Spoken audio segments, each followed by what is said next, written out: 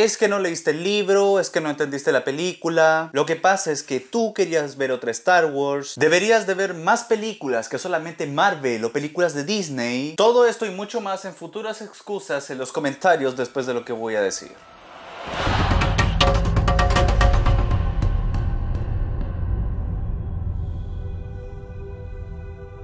Así es, gente. El tan esperado día llegó. El tan esperado día para los fans de la ciencia ficción. Y sobre todo, el día más esperado para los fans de Dune. Porque en esta ocasión vamos a detenernos un momento para hablar de Dune 2021. Película que actúa como una adaptación de uno de los mejores libros de ciencia ficción de todos los tiempos. Pero que también tiene cierta fama por ser conocido como el libro inadaptable. Ya tenemos la mala versión cinematográfica de David Lynch que tuvo un montón de problemas para darse entender y un relativo éxito cuestionable con la serie de Sci-Fi Channel del 2000, por lo que las expectativas por esta nueva película dividida en dos partes estaban más que altas. El equipo se veía prometedor, tenemos gente que conoce el material original y tiene todo para que ahora sí Dune sea conocido por el mundo entero como debería de ser. Aparte que el director Denis Villeneuve, director de esta película, al igual que Prisoner, Sicario, La Llegada y Blade Runner 2049, es muy fan del libro, aparte de ser una mente fresca en el cine de ciencia ficción actual.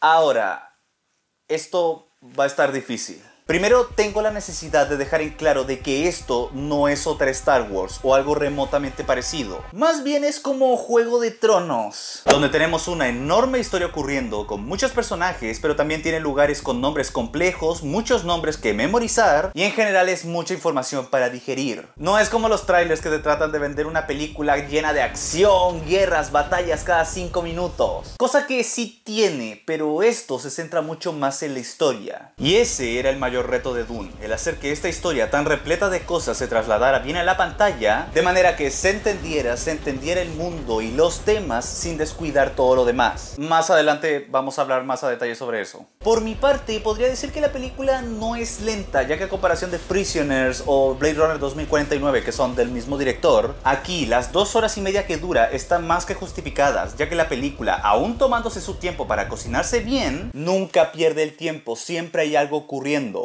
La forma en la que termina esto no lo voy a decir, pero también lo vamos a hablar más adelante. Pero en cuanto a introducción, estuvo mejor de lo que esperé, porque no se siente como una simple adaptación, sino que canaliza bien al libro con los temas que lo hicieron famosos, aparte de tener una personalidad propia, se suda la camiseta. Tanto la dirección como el guion son tan respetuosos como accesibles para que el público en general se pueda sumergir fácilmente en este nuevo mundo. Hay traiciones, redención, ideas sobre la evolución, sobre ecología, política o religión. Todas tienen su momento para introducirse en esta historia llena de peligros y conflictos sin sentirse fuera de lugar. Tiene un exceso de personajes a mi parecer y la mayoría desgraciadamente se va a terminar quedando hasta el momento muy en el fondo o directamente en el olvido. Sin embargo, las actuaciones siempre son sólidas y los que deberían de quedarse como protagonistas logran quedarse como personajes que prometen. Oscar Isaacs como el padre de Paul me hubiera gustado ver más de él, ya que su relación con su hijo me estaba gustando mucho. Lo mismo con Rebecca Ferguson que es una madre que está rota por dentro y que se preocupa mucho por el destino de su hijo. Sí llega un punto en donde pareciera que solamente se va a limitar a sufrir y a llorar todo el tiempo, hasta que vemos lo capaz que es, y termina siendo un personaje que parece simple pero que oculta algo más. El varón Harkonnen fue mucho más siniestro de lo que creo que todos esperábamos. Brillantemente actuado por Stellan Skarsgård y espero que para la segunda parte pueda demostrar mucho más que aquí. Y oficialmente Timothy Chalamet podría ser considerado ya uno de los grandes aparte de que su personaje fue por mucho el que más me importó. Tiene que recorrer su propio viaje del héroe, donde él es el elegido, pero no quiere cargar con esa responsabilidad. Pero a comparación de otros personajes parecidos como Poe, Neo o Luke Skywalker, este sabe que tiene que tomar el mando ante las amenazas del futuro, pero él nunca la siente así. Tomarle el peso a las cosas por más que se esforzara y demostrando naturalmente que sí es el elegido y está obligado a tomar esa posición. Una forma un poco seria y refrescante de retratar a este tipo de personajes. Y sí, yo sé que en cuanto a la sustancia de la película tal vez no la estoy haciendo ver tan bien o tan genial como a mí me gustaría. Y nuevo, más adelante van a entender el por qué. Pero yo creo que no es para morirse, ya que si algo hace bien esta película es verse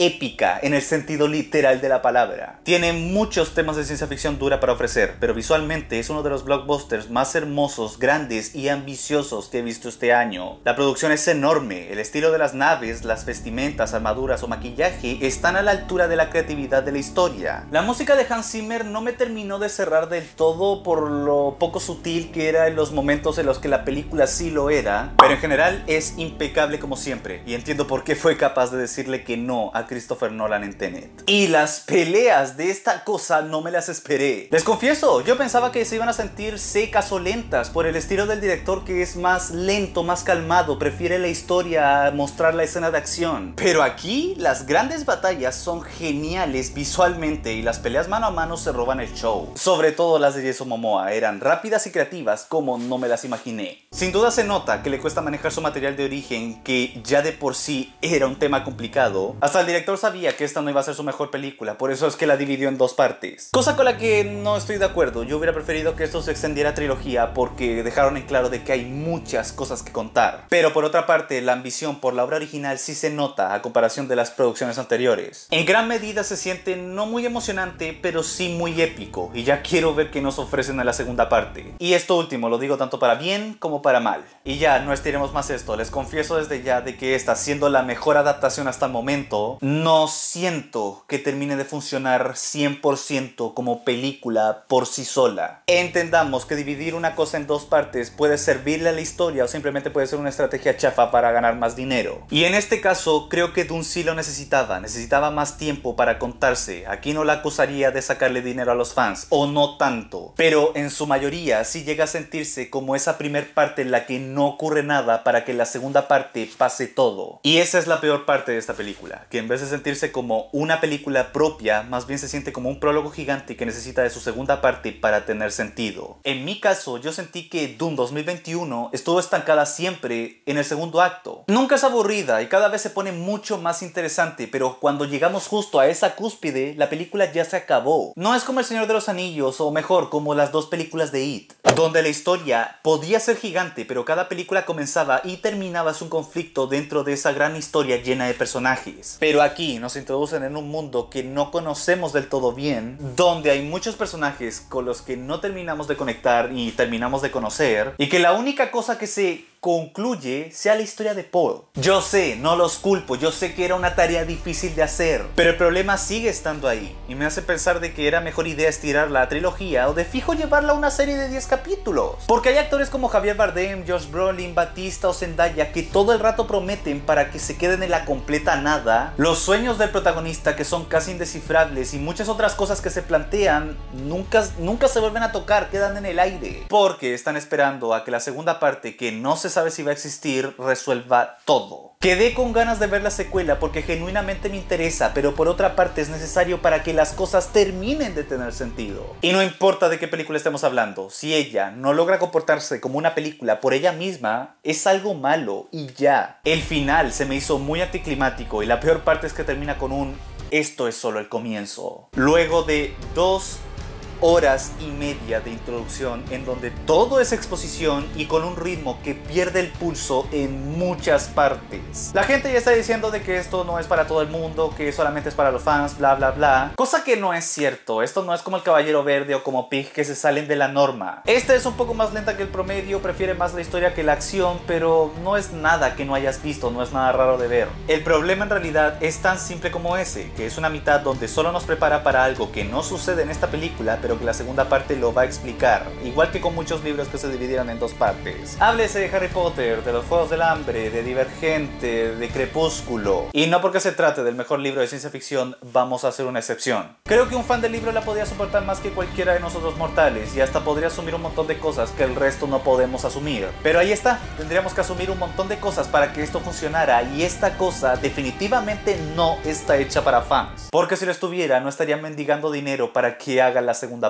Y como esta película está pensada para llegarle a más gente, más específico al público en general, podría decepcionarle a más de alguno el hecho de que hayan pasado tanto tiempo viendo algo que no termina de concluir o funcionar del todo. No porque sea mala película, porque definitivamente no lo es, es mucho mejor que el promedio y es la mejor de todas las adaptaciones. Pero insisto en que sí es una película que nos deja con la sensación de que, tanto para bien como para mal, hizo falta ver mucho, mucho más. Pero bueno, creo que eso ya ha sido suficiente. Espero que te haya gustado mucho el video. Si te gustó, dale un dedito positivo. Si no te gustó, dale un dedito abajo, pero sin insultar. Y si te gustó mucho, mucho, suscríbete al canal para poder tener más videos así. Los links de las redes sociales están aquí abajo en la descripción. Pero bueno, nada más que decir. Yo soy Crash Willy.